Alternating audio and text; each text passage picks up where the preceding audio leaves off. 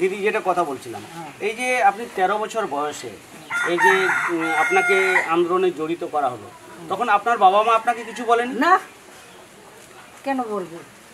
সবাই তো ওই অত্যাচারের মধ্যে ছিল।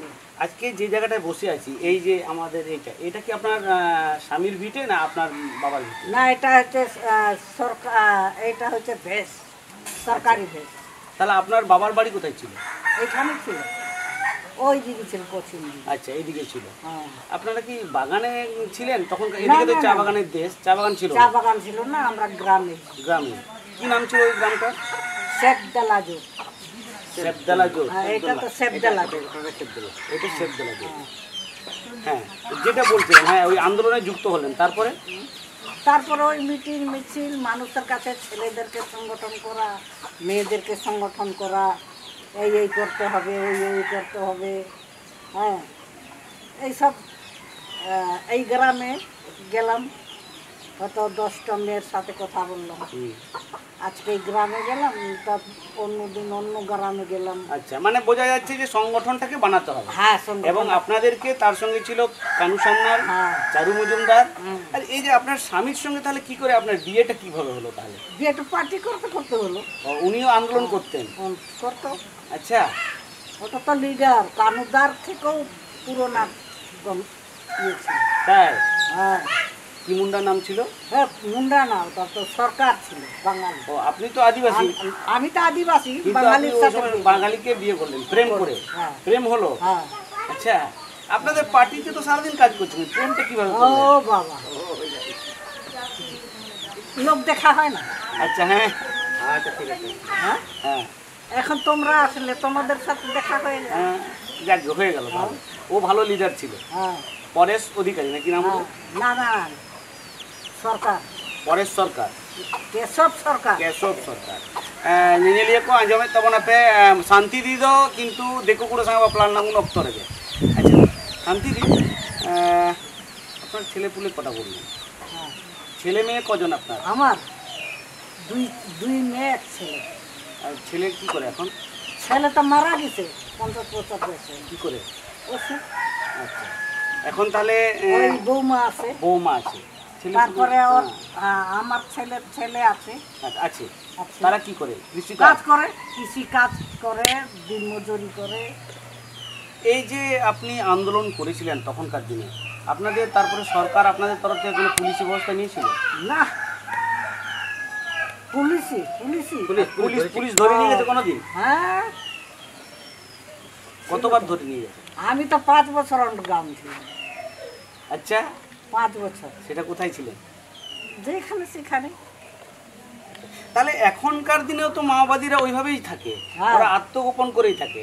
আর তখনকার দিনের মাওবাদীরা মানে আপনাদেরকে তখন নকশালিস্ট বলা হতো। হ্যাঁ হ্যাঁ। এই নকশা আচ্ছা দিদি এই নকশালিস্ট নামটা বা এই নকশালবাড়ি থেকে হলো বলেই হলো না?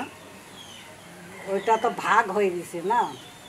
আচ্ছা। গ্রুপ ভাগ হয়ে গেছে। যেরকম আজকে কিছু নকশাল জঙ্গলে আছে হ্যাঁ ওই আমি রাঁচিতে গেছিলাম। হুম। হ্যাঁ, দুই বছর কি তিন বছর আগে গেলাম। তো ওখানে কিছু মাওবাদীদের জেলে রেখেছে। হুম। হ্যাঁ তো জেলে রেখেছে। যারা চেকিং করেছে হুম। ওখানে আচ্ছা। কি সবাই কি মাওবাদী? কি না? যখন চেকিং করতে গেছে তখন দেখা গেছে একজন না দুইজন মাওবাদী বাকি বাদ সব ফালতু ধরে নিয়ে গেছে। মানে আসল মাওবাদী ধরে নিয়ে যায় না। ওই দুইজন বোধহয় ছিল। আর আপনাদের যখন ওই সময় যখন আপনাদেরকে ধরতো তখন আপনাদেরকে এরকম ফালতু লোক ধরে নিত না যারা আন্দোলন আন্দোলনে সবাই করে নাকি? করে। আন্ধাধুন একটা ভিখারি আসল তাকেও ধরে নিয়ে গেল। এইটা পরে নকশলের বড় নেতা। এরকম করেছে? হ্যাঁ। এরকম করেছে তো। আপনার দিদি যখন আপনার যে যখন আপনাদেরকে মানে ধরপাকড় চলছিল এই যে পাঁচ বছর ধরে তারপরে কি আপনাদের আন্দোলন আবার জারি ছিল? ছিল। ছিল।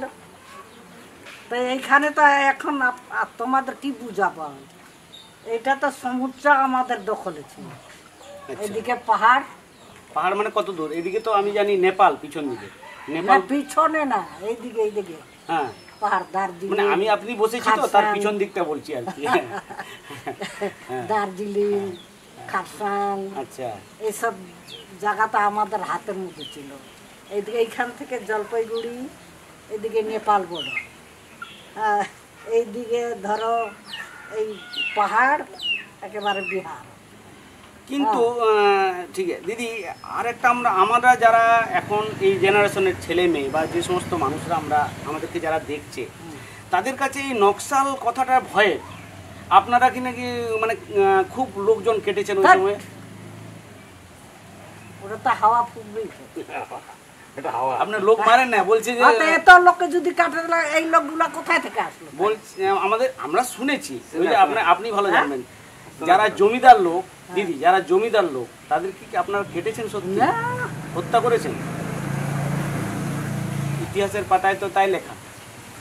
ওটা তো হাওয়া। হাওয়া। ওর তো জোরদারকে কাটলে আর জোরদাররা ও তো ভয়ে ভয়ে পালাইছে। এই যে এখানে ছিল এখনও তো আছে। হ্যাঁ, কুণ্ডল সিং কুণ্ডল সিং তো মারা গেছে। ওই পুরাটু এখানে পাঁচ ছটা জমিদার। আপনাদের সময়ে যে সমস্ত জমিদাররা আপনারা যাদের বিরুদ্ধে আন্দোলন করেছিলেন সেই সমস্ত জমিদারদের এক দুজন বাঁচ- আছে এখন? আছে তো। আছে তো। আচ্ছা তাদের নামগুলো যেমন? এইখানে আছে তোমার কুণ্ডল ছিল ওটা পুরোনা লোকরা তো মা- মারা গেছে। হ্যাঁ হ্যাঁ। ওটা অসুখ বিসুখে মারা গেছে। এখানে ভাতু বুড়া ছিল ওর ছেলেরা আছে। ওরা কি আদিবাসী ছিল না অন্য অন্য বাঙালি বা ইয়ে? কি ছিল ওরা জাতি? ওই যে কি বলে? ইয়ে অনেক রকম বলে তো পাপলিয়া বলে আচ্ছা। হ্যাঁ রাজবংশী বলে। আচ্ছা। হ্যাঁ কেউ বলে বাহে। দিদি আমরা যখন নকশাল আন্দোলনের ইতিহাস পড়ছি এখন তাতে দেখা যায় বিশেষ করে নাম থাকে কানু সান্নালের চারু মজুমদারের কিন্তু আপনি যেহেতু মুন্ডা সম্প্রদায়ের শান্তি মুন্ডাকে সেরকম আমরা বইয়ের পাতায় এখনও দেখতে পাই না নাম দেখা যায় না। এবং আজকে যার জন্য বিশেষ করে আপনার কাছে আসা আমাদের সাঁওতাল সম্প্রদায়ের নাকি একজন ভদ্রলোক ছিলেন তার নাম কি ছিল? এমনি আন্দোলনে জড়িত ছিল? জঙ্গল? আপনিই তো জানবেন কি নাম ছিল? জঙ্গল। কি? জঙ্গল জঙ্গল সাঁওতাল। হয় ওর নামটা জঙ্গল ছিল? জঙ্গল। ওনার জীবনী সম্পর্কে যদি একটু বলেন দিদি মানে ওইটা বলতে পারব না আমি। আচ্ছা। ও না ও কেমন লোক ছিল? আপনার সঙ্গে আন্দোলন করে খুব ভালো লোক ছিল। আপনার সঙ্গে আপনার তো একসঙ্গে আন্দোলন করেছেন? ওইরকম লোক হয় না।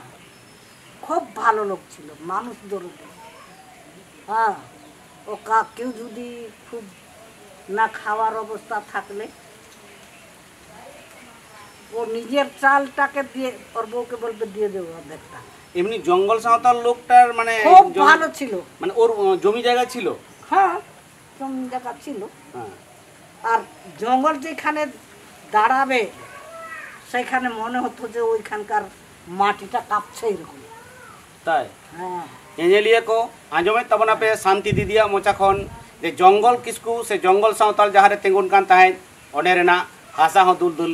ᱦᱤᱞᱟᱹᱜ ᱠᱟᱱ ᱛᱟᱦᱮᱸᱫ ᱟᱨ ᱵᱚᱱ ᱵᱟᱰᱟᱭᱟ জঙ্গল সাঁওতাল ইদি কাতেদ দিদি এ, এই জঙ্গল সাঁওতাল ভদ্রলোক দেখতে কি কত বিশাল ছিল কেমন ছিল ওটা খুব মানে মোটা সোটা কাঁচা মানে কালো উঁচা হ্যাঁ ওকে কোনোদিন পুলিশ ধরেনি হ্যাঁ ধরেছে তো ধরেছে তো কিন্তু আমাদের যে সারা ভারতবর্ষে যে সমস্ত সাঁওতাল সম্প্রদায়ের মানুষ আছে তারা এখনো জানে না যে জঙ্গল কিসকু কি? জঙ্গল সাঁওতাল নামে একজন। লোক ছিল যার বাড়ি নকশাল বাড়িতে আর আমি আপনি যেখানে বসে আছি সেইখানে সেই গ্রামেই তার বাড়ি। হ্যাঁ। এটা কিন্তু অনেকেই জানে না। ওই জন্যই ওটা হ্যাঁ। তোমরা মনে করছ কিন্তু আমরা তো জানি যে জঙ্গল জঙ্গলের সারা পৃথিবীতে ওর নাম। জঙ্গল কানু। আচ্ছা। হ্যাঁ। কোনো জায়গা কেউ এমন লোক নাই যে এদের নাম এদের কাজকর্ম জানে না এটা আমি মানতে রাজি না। হ্যাঁ, এই জঙ্গল সাঁওতালের সঙ্গে আপনাদের একসঙ্গে জেল কোনোদিন হয়েছে? আমার সাথে না ওইটা তো হয়নি কিন্তু জঙ্গল তো পুরুষদের সাথে আলাদা আমি। ওরকম বলছি না ধরেন আপনাদের পুলিশ ধরলো একসঙ্গে ধরে ধরে নিয়ে গেল। না। এরকম না? না। এখন কাকে কোন জায়গা ধরবে? আমরা এক জায়গা থাকব? আচ্ছা। যে আমাদের এক জায়গা ধরে নিয়ে যাবে। না ধরে টরে লাস্টে তো এক জায়গায় নিয়ে যায়। এক জায়গায় হয় না। আপনাকে কোন কোথায় কোথায় রাখা ধরেছিল ইসলামপুরে। কাকে? জঙ্গলকে? জং- জঙ্গলকে। আচ্ছা। হ্যাঁ ইসলামপুর থেকে ধরে শিলিগুড়ি এনেছিল। ও ও সংগঠন করতে গেলে তো তোমার এক জায়গায় থেকে তো করবে না।